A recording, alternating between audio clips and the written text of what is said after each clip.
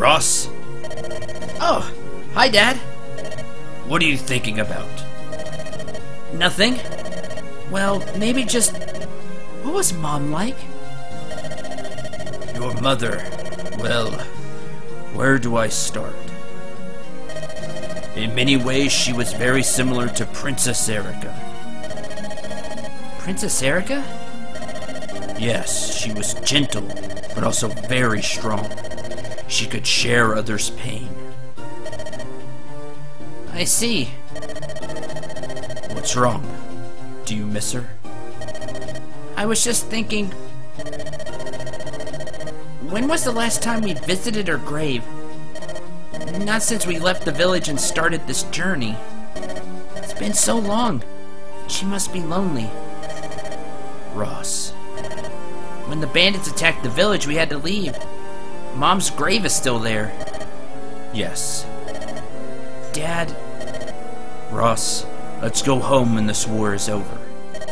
To the village where Risa rests. Dad, We could rebuild the village again. Just the two of us. After all, that's where we belong. You, me, and your mother. yes. All right, but I'll have to be a lot stronger to help with that. We better start training, Dad. If you insist, show me what you've got.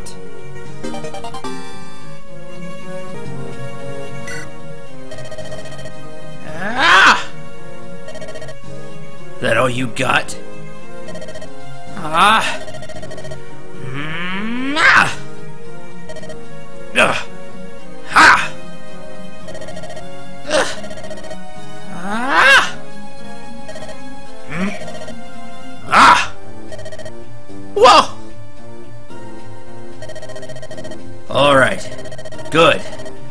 That's it for today. Wow. Whew. Ooh. You're strong, Dad. Finally getting the hang of it, boy. Stroke is heavier. Your swing is definitely improved. Yes. Been practicing all the time, even when I'm not in battle. Maybe someday I'll even surpass you. You're getting stronger, no doubt about it. But I'm not gonna let you win. You have to get there yourself. Now you're talking. Higher the hurdle, bigger the reward. Alright, I'm gonna go practice my swing. See you later, Dad. Alright, boy. Risa, you'd be so happy. Ross has grown into a strong young man. Ross, What is it, Dad? Ow! Ow! Ow! What are you doing? That hurts. You're crushing my shoulder. Ross, What's wrong, Dad? Ross, I'm gonna be sentimental for a moment. Bear with me. Huh? You may be almost grown, but you're all I've got in this world. It's true that your skills have improved, but don't act foolishly. Huh? There's no greater tragedy than when a parent must bury his child. You see where I'm going with this? Yeah, I understand. It's just weird to hear you talking like this. I guess I've been getting a big head. No one is invincible. Yes, that's right. And when you start to think you are, that's when you're the most vulnerable. I was just all puffed up when you said I improved. I'll be careful from now on. Haven't told this to anyone. I guess dads could see these things. No matter how old you get, you'll always be my son. Yes, and I'll always look up to you.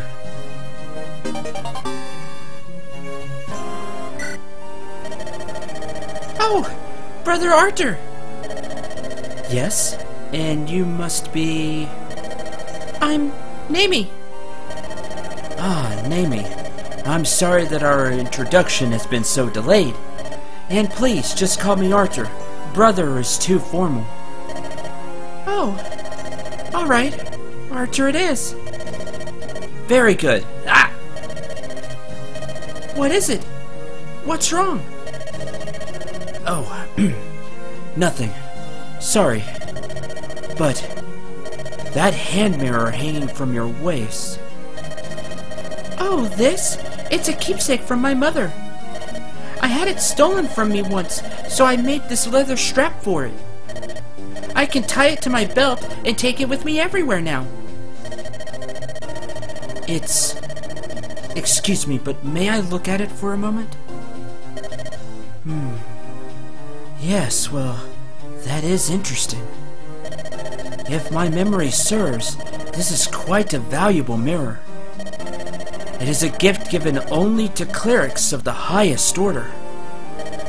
Few of these mirrors exist, and for you to have one means your mother. Yes, she was a cleric. When I was young, an illness. Say no more. I understand. But seeing you in the mirror she left you tells me something. Your mother was a good person, benevolent, faithful, and caring.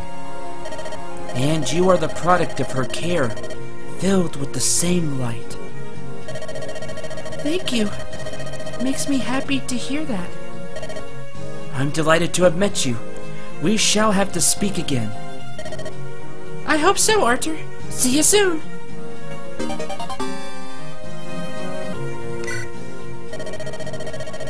Neimi, it's an honor to speak with you again so soon. Oh, Artur! Yes, I'm happy to see you. That's an impressive bow. Am I to understand that you're an archer? I've heard the others speak highly of your skills. Thank you, and I was watching you use your magic. It was pretty incredible. Oh, it was nothing. I'm just a novice. Oh. Neimi, I see you've put your mirror away, have you? Hmm? Huh? I don't think I did. What? What does that mean? No! I've lost it! What am I going to do? Lost? How could that happen? That mirror is a precious artifact, not to mention an important keepsake. The leather strap. It's torn.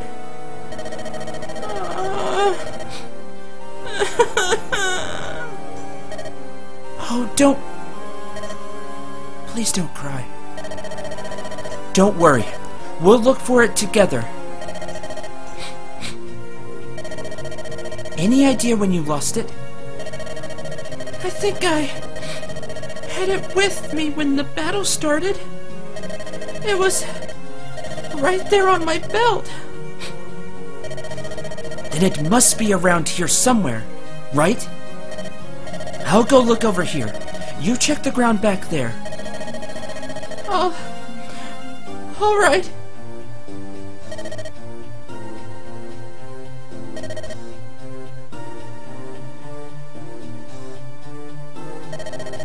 I couldn't find it here. Any luck there? I can't find it.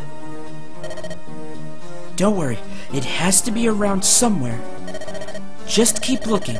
I'll ask the others too. Alright. Just go look over here. Oh, Neimi. How am I ever going to find it in the middle of a battlefield? I suppose I simply must have faith. Yes, that's it. Faith will guide me to her mother's mirror.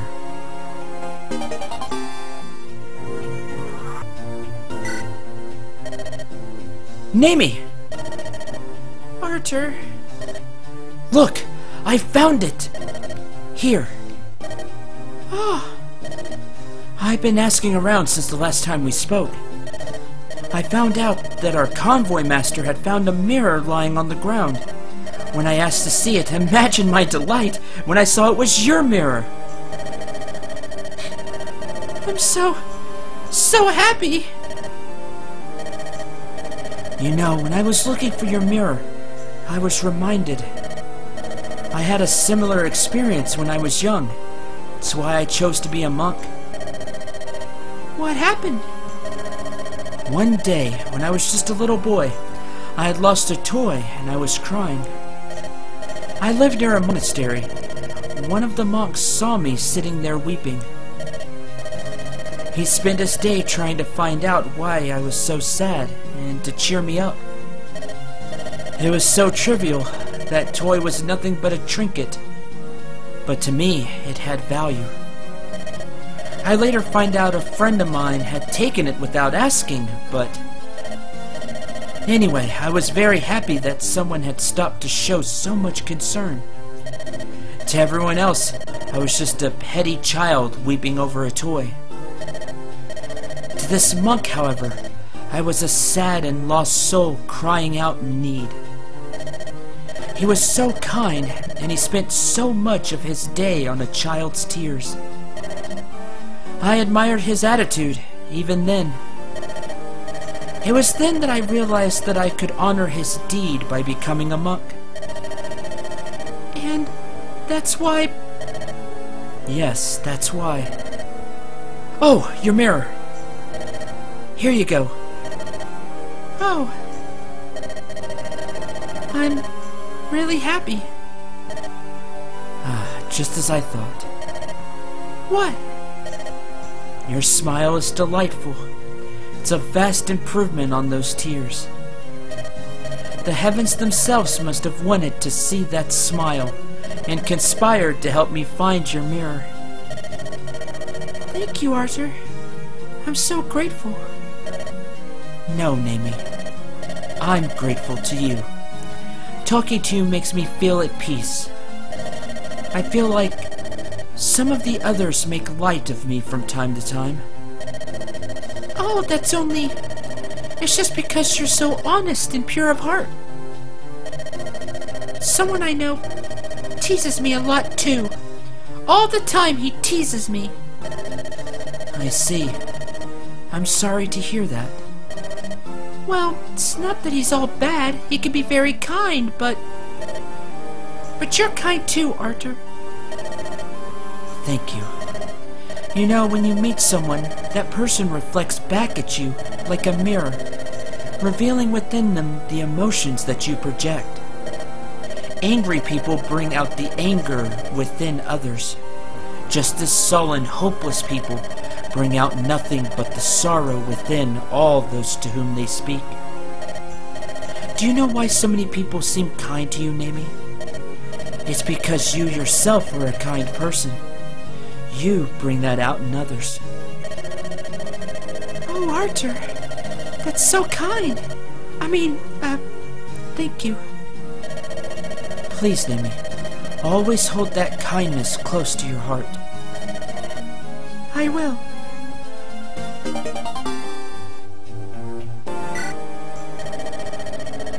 Good day to you, Princess! What a funny thing that we should meet here! It is Providence, I tell you! La it is not Providence. It's not even a coincidence. We agreed to meet here when our when we planned out our battle strategy. Wait, don't tell me that you don't remember that! We planned this? I suppose I simply don't usually worry about such trifling details.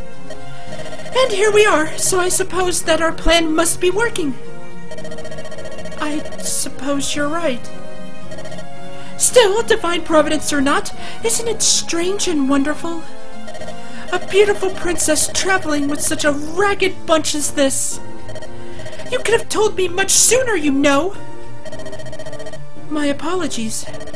Necessity demanded that I conceal my identity at the time. Oh, it is no longer any worry.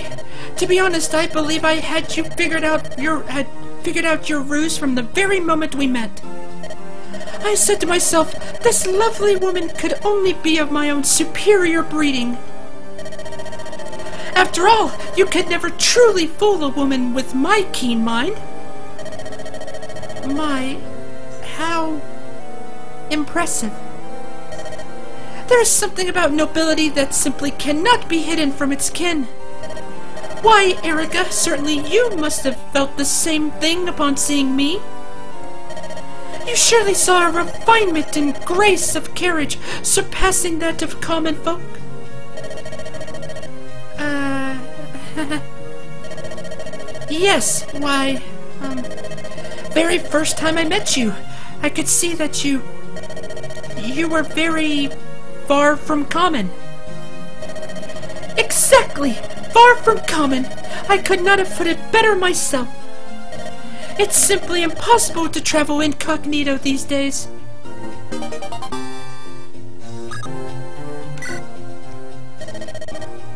Take that! And that! And that! And that! L'Arachel, what are you doing? I'm practicing! I want to be prepared for when those fiends show up next! You can never tell where or when they'll appear after all!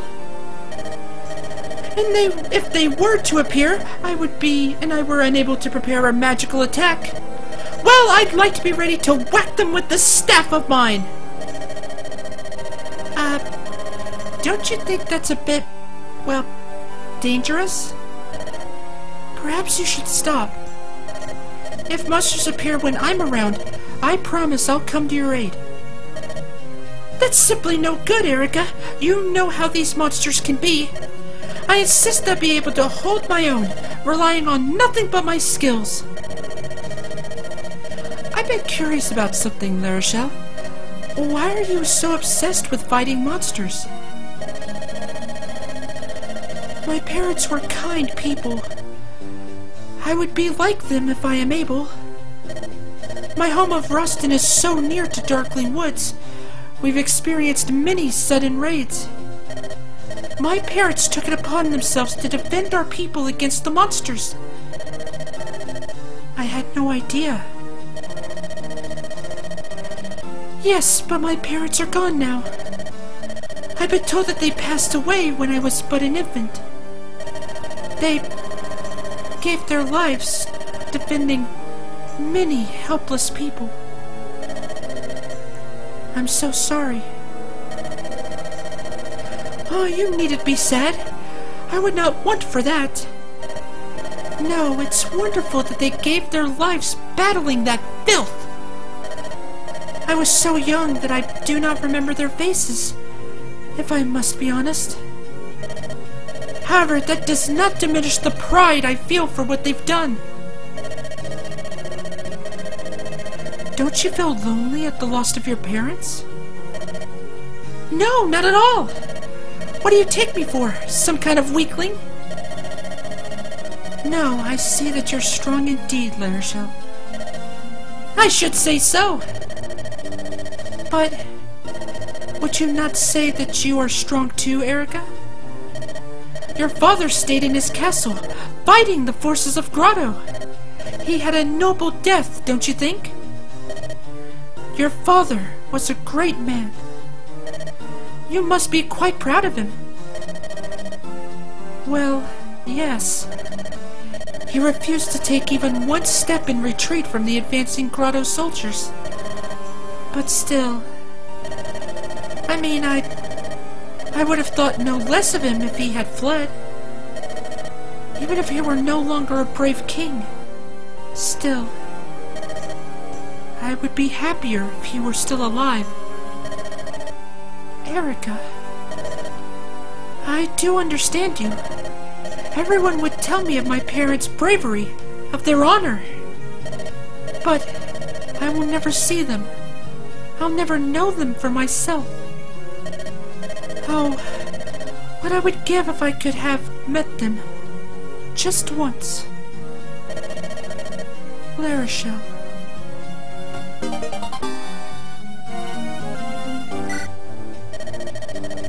Eirika, please hold for a moment. What is it, L'Arachel? About what we were discussing earlier. I would not want you to get the wrong idea. I was not saying I was lonely because my parents were dead. I'm not that weak, you know.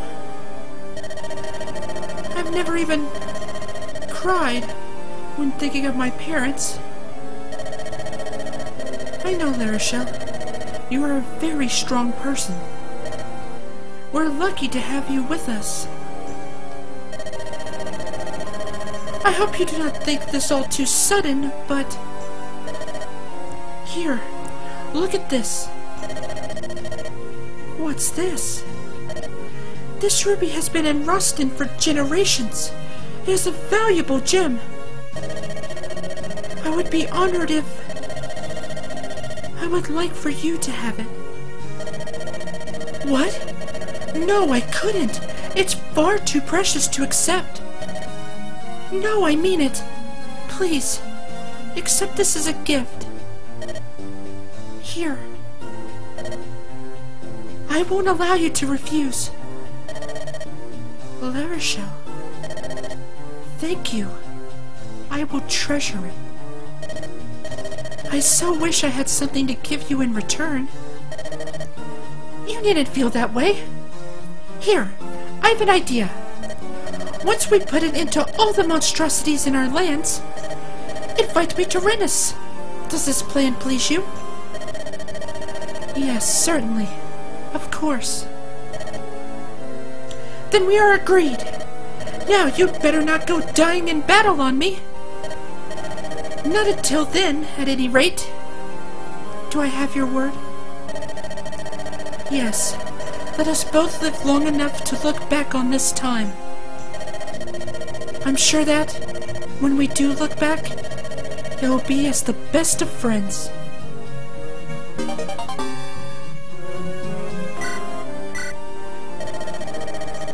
Ephraim, do you remember when we first met?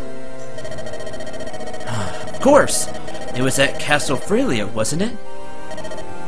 Eirika and I had been invited to visit for your birthday celebration. Oh, I'm so glad you remembered. King Hayden seemed so delighted that we'd come to visit.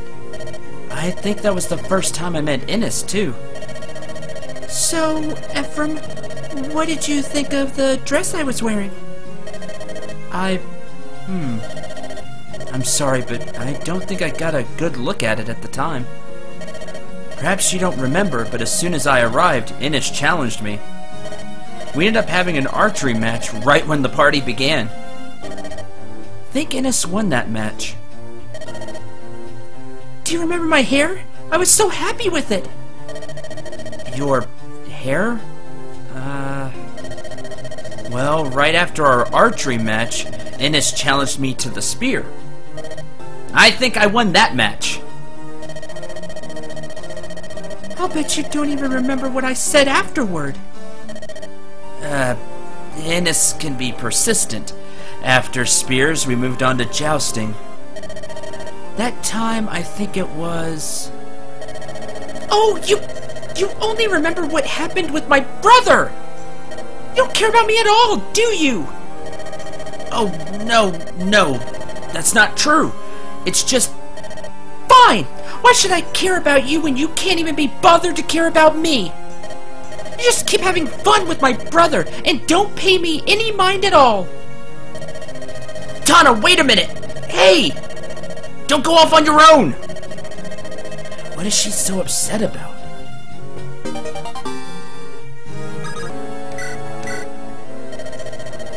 Hello, Ephraim. Shall we take a break together? Well, you're in a better mood today. Huh? What do you mean? Oh, nothing. Never mind. So, uh, what can I do for you? Eirika helped me prepare lunch. I haven't tried it yet, but I'm sure it's delicious. Would you like to eat with me? Tana, this is a battlefield. It's alright to take a break, but let's not let our guards down. You're always like that. You're so stiff and formal and detached all the time. Tana, what's the matter with you? You've been acting so odd lately. Yes, I'm acting funny. It's all your fault, Ephraim. Whenever I try to talk to you, you always keep your distance. No matter how hard I try, you never open up to me. That's not true. Is there someone else? What? It's just. You never pay any attention to me. You never have. Makes me so sad. All I want to do is be near you more and more. Uh, Tana, you're still just a child at heart, aren't you? Ephraim! Don't talk about me like that! No, I meant it as a compliment. Because you're so young, your words have such a simple, honest purity. I do appreciate your affection. Ephraim! Do you think you can make more time for me? So we could chat? Yes, of course. But we don't have the luxury to stop and chat on the battlefield. We have an obligation to end this war first. Let's go. Yes. Alright. I'll see you later. I'm looking forward to it.